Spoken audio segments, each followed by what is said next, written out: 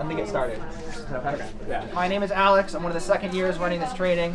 Thank you all for coming. We just got back from learning how to give vaccines to get ready to give COVID vaccines in the community. Um, I think it's been really exciting to learn hands-on work in addition to meeting my new classmates. Keep the skin taut. Remember with your fingers? Yeah, yeah, yeah. It's day two and we have an actual clinical skill that we can go out into the community and actually help people and contribute to the overall health of the community. So it's, it's amazing. It's a really cool opportunity. You want to band-aid me? If you're not bleeding. I think of myself coming into um, the nursing program, and I mean, I was in their shoes. It's a different program, but it's the same thing. You're brand new to a, it's a brand new environment, and you're really excited. Um, and I think it's really cool that they can immediately jump in and make an impact on their community. Good, you're fixing it.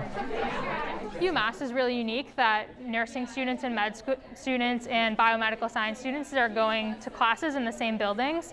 Um, so we have some classes together, we're able to intermingle, um, and these types of programs able, um, enable us to build these relationships that we can then carry over into the clinic. So now I'm more comfortable working with doctors and residents and med students too when they come through my unit, um, and I think they're more comfortable working with nurses.